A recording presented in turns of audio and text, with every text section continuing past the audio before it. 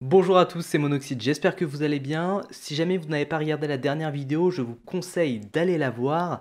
Cette dernière vidéo vous montrer du coup est-ce que c'est intéressant ou pas intéressant de farmer la nécropole du démon. Aujourd'hui, je vais vous parler des étages les plus intéressants. Avant de commencer à rentrer dans les tableaux avec toutes les statistiques, il y a quelque chose qui est très important à bien comprendre quand on parle de la nécropole du démon. Il y a deux grandes phases. Il y a la phase où il faut tester les items. on va dépenser 60 petites potions pour voir si la stat qui apparaît est intéressante ou pas. On ne va pas forcément vendre ou conserver l'item. En général, ce sont des items top tier qu'on fait. Donc ça veut dire qu'on va conserver l'item.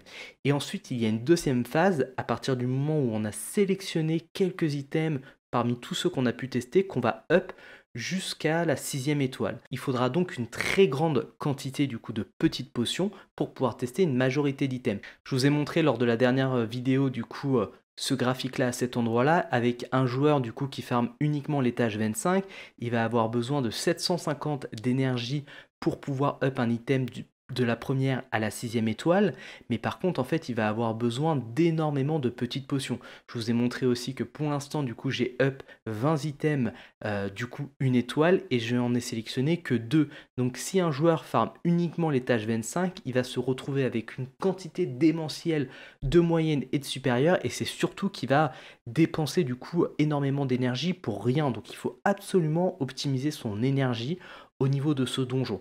Donc déjà dans un premier temps, je vais vous montrer concrètement ce que je farm. Pour l'instant, je teste uniquement les items, donc ça ne sert à rien d'aller chercher le 25. Et en fait, l'intérêt, il se trouve à cet endroit-là. Et pour ma part, j'ai fait le choix simple de farmer l'étage 7. Vous allez voir, pour moi, c'est le donjon le plus intéressant pour pouvoir tester les items, hein, donc dans cette phase 1. Je suis à 0,32 secondes, je ne vous préviens, je ne suis pas en train de faire du speed farm avec 5 personnages. Non, non, je fais euh, de la food et tout simplement j'utilise mon Rotos. Alors j'ai testé avec euh, deux Rotos, hein, ça fonctionne très bien. Il y en avait un qui était très mal équipé en 7 vol de vie. Au début je farmais avec lui, ça mettait 1 minute 20. Et en fait j'ai mis mon Rotos euh, que j'utilise pour pouvoir faire du PVP. Alors le run il est assez variable. 32 hein. secondes, c'est le record. Donc bien sûr, à chaque fois, ce n'est pas 32 secondes, mais des fois, ça dure 35 bah, secondes. Et je crois que ça monte jusqu'à à peu près 50 secondes au, maximum. Et là, vous voyez, je suis bientôt à 50% des HP. Alors attendez, on va regarder à 50% des HP. Là, vous voyez, je suis à 27%. On va regarder. Alors, Rotos, il se booste assez, euh, assez rapidement. Alors, ce qui accélère un peu le run aussi, c'est voilà, de temps en temps quand il met le break défense. Alors je n'ai pas cherché à lui mettre de la précision parce qu'on est clairement sur un Rotos qui est là pour faire du PVP. Mais en fait avec ce build là ça fonctionne et c'est relativement rapide. Là vous voyez euh, je vais le farmer du coup bah, ça va durer à peu près 55 secondes sur celui-ci. Donc ça c'était un run qui était relativement lent. Je vais en relancer un autre hein, juste pour vous montrer rapidement comment ça fonctionne. Mais là vous voyez pour un total de 10 d'énergie j'ai récupéré du coup 8 petites potions. Si je vous remontre ce graphe du coup, par run, on obtient en moyenne 7,46. Et pour tester un item, comme je vous ai expliqué, il faut 60 petites potions. Donc si je divise 60 petites potions par 7,46, ça nous donne du coup un total de 8 runs. On multiplie tout ça bien sûr par 10 parce qu'un run coûte que 10 et en fait, pour tester un item, il faut 80 euh, d'énergie. Donc c'est quand même largement moins par rapport à la valeur que je vous avais donnée avec l'étage 25. Donc en fait, juste pour pouvoir tester des items, l'étage 7 est vraiment parfait. Je vais vous montrer un peu euh, la différence entre les étages après parce qu'il y a plusieurs options possibles. Je vais relancer un combat rapidement pour vous montrer un peu ce que ça donne. Alors, ce qui est chiant du coup avec Rotos en lead, c'est qu'il n'a pas de lead. Donc à chaque fois, il pose, euh, il pose la question. Euh, on va regarder un peu rapidement ce que ça donne. Euh, ce qui est intéressant, c'est que le boss tape très rapidement et il tape sur tout le monde. Et en fait, il tue la food très rapidement. Donc en fait, on est très rapidement tranquille au niveau du boss. Euh, alors en fait ça peut être plus ou moins long parce que j'ai notamment un set sauvage sur mon rotos, donc s'il proc ou s'il proc pas, bah du coup bien sûr le run est plus ou moins rapide. Mais là vous voyez par rapport à tout à l'heure on est quand même sur un run qui est plus rapide. Je pense qu'il va finir à peu près en, en 40 secondes, peut-être un peu moins, mais voyez globalement c'est euh, assez aléatoire, mais on est à peu près entre une trentaine et une minute à peu près. Je dirais que c'est à peu près du 45 secondes de, moyenne. Là, vous voyez, j'ai droppé du coup uniquement cette potion parce qu'on peut dropper, euh, que je dise pas de bêtises, pour moi c'est soit 7, soit 8 potions et du coup on a une moyenne entre les deux, vous voyez. Donc 7 ou 8 potions par, euh, par run. Donc je vais vous redonner quelques infos parce qu'il y a pas mal euh, d'informations sur le tableau. Juste pour rappel, l'étage 25, il va être très bien par exemple pour un joueur qui voudrait up des items de la première à la sixième étoile. Et si on lance une très grande quantité d'énergie, là ils ont pris l'exemple de 10 000 d'énergie, on aura à peu près les mêmes chiffres et on pourra up tous les items de 1 à 6 étoiles et on sera à peu près à 0 euh, de ressources sur chacune, ça, va, ça devrait à peu près s'équilibrer. Mais si on fait ça, on n'a pas de petite potion. Donc ce qui est important, c'est d'aller euh, obtenir de la petite potion à côté. Et là, on va aller regarder, du coup, ce qui nous intéresse, ça va être du coup la quantité euh, d'huile par run. Donc là, si on regarde à cet endroit-là, on est à 7,46, ce qui est relativement intéressant. Ici, on est du coup à 8,79 et là, on est à 8,97. Alors on pourrait dire, ok, euh, c'est génial, c'est ça qu'il faut faire. À côté, ce qui est intéressant, c'est qu'ils ont mis aussi en avant la difficulté du boss. Alors déjà, on peut voir que sur l'étage 7, il a 7 de shield. Donc sur les autres étages qu'on a pu voir tout à l'heure, il a 7, sauf que quand on passe à l'étage 16, il a 5. Le shield, en fait, c'est tout simplement combien de temps du coup dure euh, le sommeil. Ça c'est assez important parce qu'en fait vous allez pouvoir taper plus fort euh, ou en tout cas mettre des debuffs si jamais euh, le sommeil reste plus longtemps. Ici, c'est l'aura du boss qui permet de diminuer les dégâts. Donc ça veut dire que si on tape sur du donjon niveau 7, le boss va ignorer 50% des dégâts, mais par contre si on descend et notamment on arrive à l'étage 16, on passe à 75%. Donc déjà il y a une réelle fracture entre avant le niveau 16 et après le niveau 16. Le niveau 16 devient vraiment beaucoup plus compliqué en termes de difficulté. Ça c'est important à, bien avoir en tête.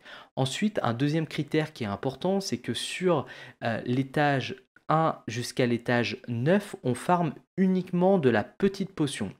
Et après, si on passe du coup de l'étage 10 euh, jusqu'à du coup 16, on farme de la petite et de la moyenne.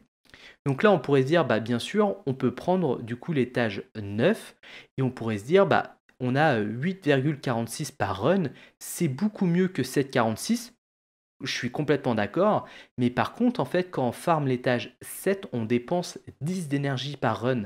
Et ici, on en dépense 12, euh, donc il y a une réelle différence. Et ce qui va être important, c'est d'aller regarder du coup la quantité de potions qu'on va pouvoir prendre. Alors là, ils ont pris l'exemple de 10 000 d'énergie, mais on pourrait bien sûr le faire avec 1000. Mais en fait, ce qui va être important, c'est de se dire, si j'investis 10 000 d'énergie, combien de potions je vais obtenir à la fin? Et en fait, si on regarde sur l'étage 7, euh, à cet endroit-là, on va obtenir quasiment 7500 potions. Et si on regarde du coup sur la totalité des runs, et eh ben en fait, en vert et en gros, c'est le meilleur run pour pouvoir farmer de la petite potion. Donc on a du coup l'étage 3 qui peut être relativement intéressant avec 6800. On a l'étage 6 avec quasiment 7000, on a l'étage 7 avec 7500. Là, on a deux runs du coup qui sont quasiment à 7000, 7100. L'étage 11 qui est le deuxième étage le plus intéressant avec 7325.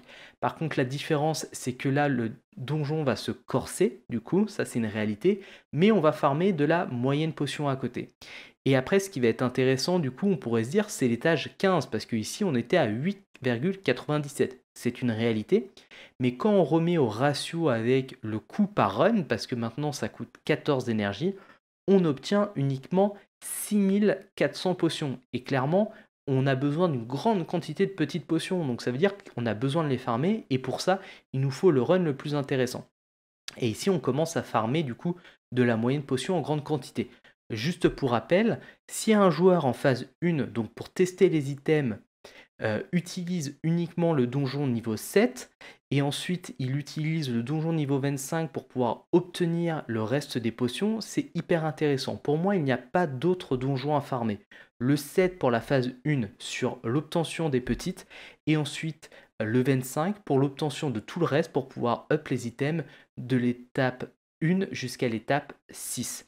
Si on regarde un peu pour le reste après, au niveau des moyennes et des supérieures, on peut voir que clairement du coup le donjon 25 est le plus intéressant parce que ici au niveau des moyennes on en obtient 1320 avec 10 000 d'énergie Et au niveau des supérieurs, on en obtient 660 avec 10 000 d'énergie. Donc oui, il faut farmer l'étage 25, mais uniquement en phase 2. Et pour la phase 1, où il faut énormément de petites potions, il faudra du coup farmer du coup l'étage 7 qui est pour moi le plus intéressant et en plus de ça hyper accessible parce qu'en fait il se fait de manière très simple et comme vous avez pu voir de mon côté je mets de la foudre dans le donjon et ça fonctionne très bien. Alors j'ai testé un peu le 11 permet du coup de récupérer un peu plus de d'XP par rapport à la quantité d'énergie investie, c'est une réalité, mais en parallèle on va quand même obtenir moins de petites potions, donc c'est quand même 150 euh, de différence, hein, c'est pas rien on va obtenir de la moyenne, mais pour moi, ça ne sert à rien d'obtenir ces moyennes-là, parce que les moyennes, on va déjà les farmer à la 25 quand on va farmer les supérieures. Donc pour moi, il n'y a pas d'intérêt à aller farmer de la moyenne potion euh, en parallèle. Il faut juste de la petite potion, et clairement, l'étage 7 est le meilleur. Donc en synthèse, alors je suis désolé, je me suis peut-être répété, mais c'est quelque chose qui est vraiment important pour les joueurs qui veulent commencer à s'intéresser et investir de l'énergie dans ce donjon. Pour la première phase où on va tester les items, je vous conseille très fortement de farmer l'étage 7. Vous pouvez sûrement mettre de la foudre. Moi, j'ai testé que avec mon Rotos, mais je pense qu'il y a peut-être d'autres personnages qui seront capables. Euh, ou même sans foudre, hein. dans tous les cas, c'est intéressant. Et ensuite, pour la phase 2, là, clairement, il faudra aller chercher le niveau 25. Pour ma part, je ne me suis pas encore intéressé parce que j'ai déjà testé pas mal d'items. Je pense que quand j'aurai 7-8 items intéressants, je commencerai à m'intéresser à, du coup à la phase 2 pour pouvoir up des items. C'était Monoxide, j'espère que cette vidéo n'était pas trop compliquée. Dans tous les cas, merci à tous hein, pour vos commentaires, vos pouces en l'air, ceux qui partagent, ceux qui sont abonnés. C'est grâce à vous hein, du coup que j'ai toujours cette motivation de continuer à faire les vidéos, que je prends du plaisir à vous lire. C'était Monoxide, je vous souhaite à tous une excellente journée et à très bientôt, au revoir.